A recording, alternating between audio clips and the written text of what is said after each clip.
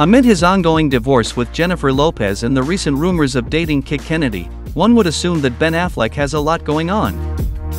However, completely defying the odds, Ben Affleck has been spotted smiling and looking in a pretty good mood, a big change from his usual frowning face pictures. The Batman actor was spotted collecting his fast food delivery at his LA rental home.